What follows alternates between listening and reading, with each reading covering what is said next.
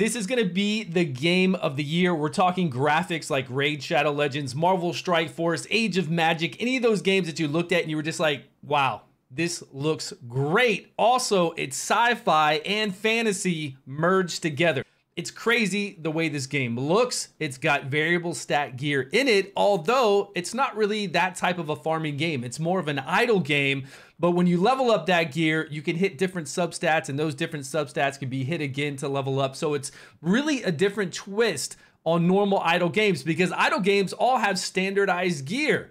I'm really loving this game. It's in soft launch right now. You can download it and play it on Android. Starting off with the heroes we can collect. These are the monster type race. Then we have Atlas, the alien type race, and Terrans, which are the humans.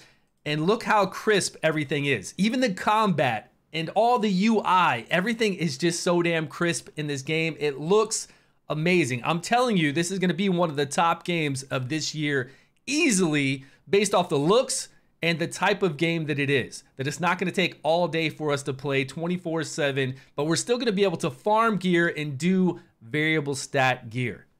And they've got all these different skills down here that we unlock. They've got their exclusive skills, which I haven't even begin to unlock these. They've got talent trees, which I've done quite a few on some of my heroes so far, and then I guess some feature coming soon. Remember, this is in soft launch. It's not even ready for global yet. They're doing a soft launch so they can get the game prepared for the masses and to add everything in that they want to add to the game. Let's go over to the Terrans and check out a few of these. I mean, look at these. Look at this class. We're talking sci-fi here, based with some fantasy over here because we have something more like a dragon, you would say.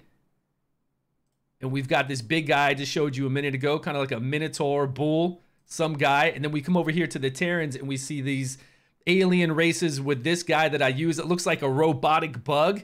And he does all these mortar strikes. I've got him leveled up pretty high. This guy does insane AoE damage with some burn effects on the ground.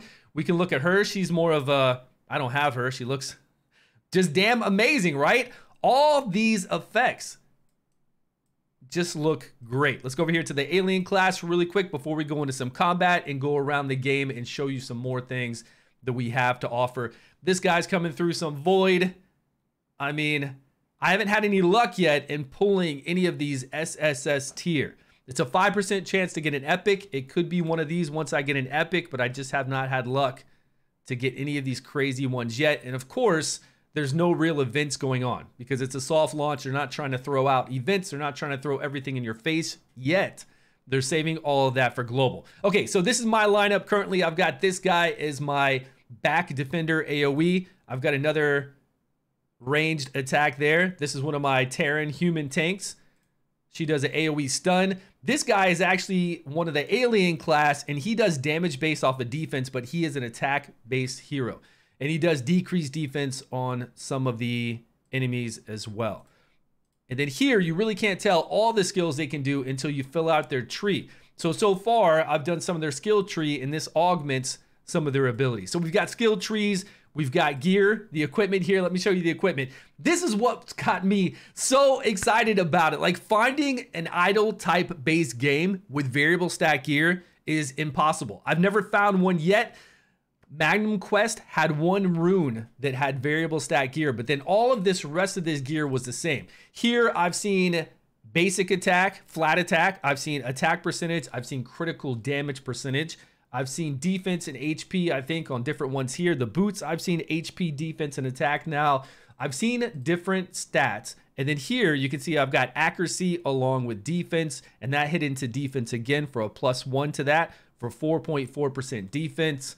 So you can see where I'm going with this, man. I love farming gear and I love the look of this type of game. I mean, I'm into this. I'm going to be playing this hard. We're going to have lots of videos on my channel about this along with anything else new that I'm playing. Okay, this is your main hub. From here, you've got guild. I haven't unlocked everything so far. You've got your outpost where you send your guys out on missions. I've already done all mine for the day. You've got your command center. Oh, that's right. When you're fighting, you've got different commanders, different commanders that you can choose, and they do different abilities based off of whatever your heroes do. This one, if I do AoE ability and hit three or more people, she'll send out this drone that will attack everyone. And it used to be just that, but now it's going to increase the damage by 30% if I send out multiple drones.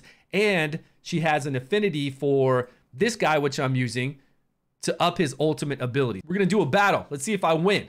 They're pretty strong for where I'm at right now. I do need to level up a little bit, but I've been playing nonstop all day today and half a day yesterday. So I'm not as far as I'd like to be, but in this game also, when you're going through these stages, you can tell it to automatically go to the next stage and the next stage and the next stage. It'll do a five second cooldown and it will keep going on until you get defeated. So if you do get stronger and you want to clear through some campaign like you do in all games, you can tell it to automatically go to the next stage of campaign. I love that. I've only played one other idle game that's let me do that. So it's a really nice feature to have and we're going to win this. Yeah, we got this easy. I mean, look at the graphics. Don't tell me that these graphics look bad or they're not in the realm of all the other top mobile games out there because this looks to me fantasy with sci-fi merged. I can't wait to see. There it is. Tap right here will auto and it will keep going every stage until you die. I am, I don't know, just these two together like this has me so excited. Okay, as you go through the game, you're gonna unlock other things like the Wasteland, which I already went through today. This actually took a little bit of time to go through all the battles and collect all the rewards. You've got this Rift Fissure, which opens up all these different stories almost. Not really stories, it's like an open map. You go through there, you do battles. You do like you do in most games where you pick a relic to give you increased defense, increased attack, a lot of other abilities special abilities to your team as you go through there and fight harder and harder enemies and pick up rewards. So those are a one-time clear. Arena, which I've done today, great rewards in Arena. I'm ranked 537 now.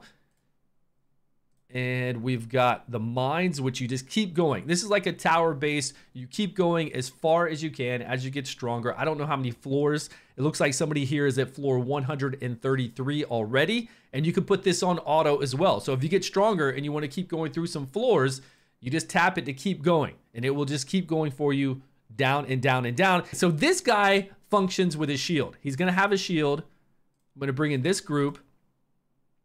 But with this shield, I have to hit him so many times. Otherwise, when the shield goes off, he's going to kill everybody. So I've got these two skills not on auto because they do multiple hits. I want to make sure we get this shield down. If I have them on full auto, they won't be ready when he does the shield and we will die. Because if this shield is not taken down, you get obliterated. It's just done. So I'm going to make sure I activate these two skills here. There we go. Those are multi-hits right there that this drone in the back, the drone that looks like a bug, brings out. And then boom, you can see it's getting ready to explode. Six, five, four, three, two, one. Barely. He was about to hit the ground and then we would all die immediately. But we were able to knock him over. We got the shield down. I'm saving these skills up again. We're on one time speed because I want to make sure that I get this done. And this is one of the boss battles that you do. There's multiple boss battles. I think I've shown you guys quite a bit about the game. Again, we've got talent trees, we've got variable stat gear, we've got guild, we've got guild bosses, which I didn't fight the guild boss today because I'm waiting to get stronger. I think there's about 11 hours left until reset. So I'm going to go attack that pretty soon because I'm going to go to bed here in a few hours. It's got everything that I'm looking for, is all I can say. Oh, here we go. Here we go. Shields are up again. I hope I get this in time. Come on, do the move, do the move. Let's go. Multiple hits there.